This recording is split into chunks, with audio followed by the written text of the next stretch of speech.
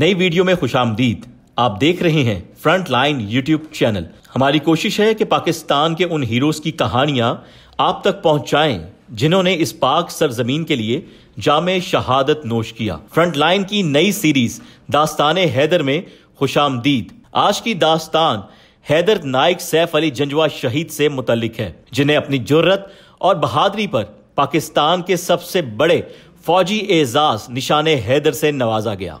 नाइक सैफ अली जंजवा आज़ाद जम्मू और कश्मीर के जिला कोटली की तहसील नकयाल के एक गाँव में 25 अप्रैल 1922 में पैदा हुए। उन्होंने 18 साल की उम्र में ब्रिटिश इंडियन आर्मी की रॉयल कोर में बतौर सिपाही शमूलियत इख्तियार की। इस दौरान वो दूसरी जंग अजीम में चार साल बैरून मुल्क महाज पर भी तैनात रहे। जंग के बाद उनकी यूनिट जलंधर और लाहौर में तैनात हुई।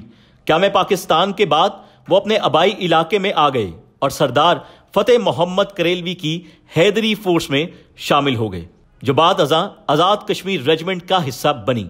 सैफ अली जंजवा की कायदाना सलाहियत को देखते हुए उन्हें नाइक के अहदे पर तरक्की दे दी गई, जिसके बाद उन्हें पलटून कमांडर बनाकर मिंढर सेक्टर पर पीर कालेवा के मकाम पर दुश्मन का हमला रोकने का हुक्म मिला, जहाँ उन्होंने भारतीय फौज के पूरे ब्रिगेड से जवामर्दी के साथ मुकाबला करते हुए जुर्रत और बहादुरी की लाजवाल दास्तान रक्त की। उनकी पल्टून ने दस्तियाब फायर पावर और मुख्तसर नफरी के साथ भारतीय ब्रिगेड के चार हमले पसपा किए।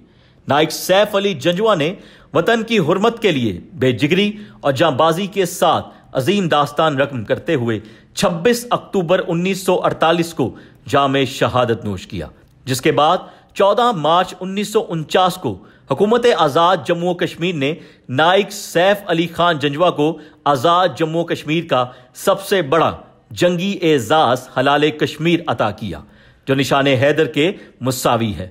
हुकूमत पाकिस्तान ने उनकी लाजवाल कुर्बानी की याद में 30 अप्रैल 1913 को एक यादगार टिकट भी जारी की। नाइक सैफ अली जंजवा को उनकी उस जवान मर्दी और बहादुरी पर पूरी कौम को फख्र है।